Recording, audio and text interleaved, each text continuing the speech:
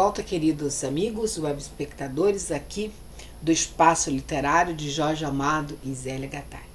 Hoje eu quero falar de um acadêmico muito especial, de um grande escritor, um escritor que eu reverencio, um escritor que o Brasil ama. E eu amo você, Paulo Coelho. É de você que eu estou falando. Você fez uma diferença muito grande na minha vida. Muito grande. Eu te agradeço muito por isso. Eu quero te agradecer. Você foi muito querido comigo. Você foi muito generoso comigo, Paulo.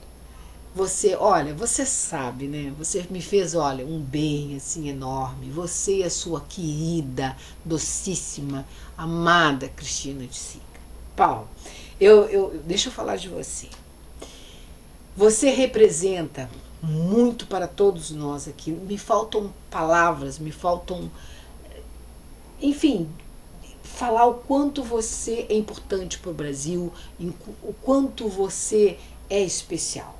Então, você como, como escritor, você abriu as portas da literatura brasileira para o mundo, e isso é maravilhoso, e nós temos muita gratidão por essa por essa tua força de vontade, por esse trabalho maravilhoso que você fez é, para o Brasil em prol da literatura, abrindo as portas da literatura e fundindo sim a literatura e, e, e elevando a Academia Brasileira de Letras no seu mais alto topo de reverência de, de, de, de, de tudo de bom, né, Paulo Coelho? Então, você é um, um acadêmico muito especial.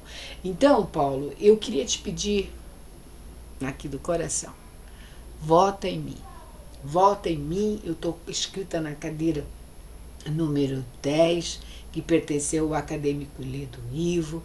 E então, Paulo, vota em mim se você achar que eu mereço teu voto, se você achar que eu mereço, que já chegou o momento de eu, de eu trabalhar na casa de Machado de Assis, enfim, se você achar isso, então vota em mim. Estou te pedindo meu teu voto e eu quero te dizer que você tem todo o meu meu amor, o meu carinho, a minha admiração, o quanto eu te admiro, o quanto você é especial para a Academia Brasileira de Letras, para o Brasil. E, enfim, vamos então em frente.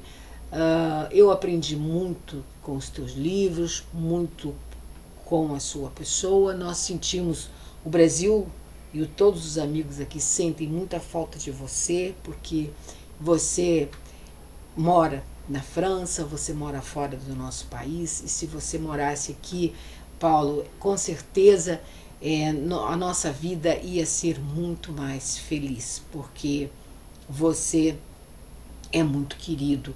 Como diz o professor Arnaldo Nisquier, você é uma pessoa amada. Amada pelos brasileiros e amada pelas pessoas do mundo inteiro que amam os seus livros. E, e eu queria falar também, Paulo, que você fez uma diferença muito grande na vida de muita gente. Com o solar, meninos de luz.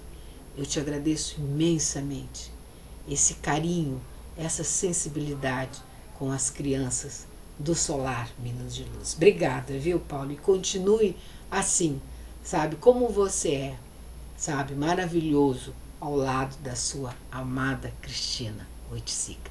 Então, ó, todo carinho, toda a nossa irreverência aqui do espaço literário de Jorge Amado e Zélia Gattai. Para você, Paulo, um beijo, um abraço para você e a sua amada mulher, artista plástica Cristina Oiticica. Vota em mim, Paulo, não esquece. Tchau.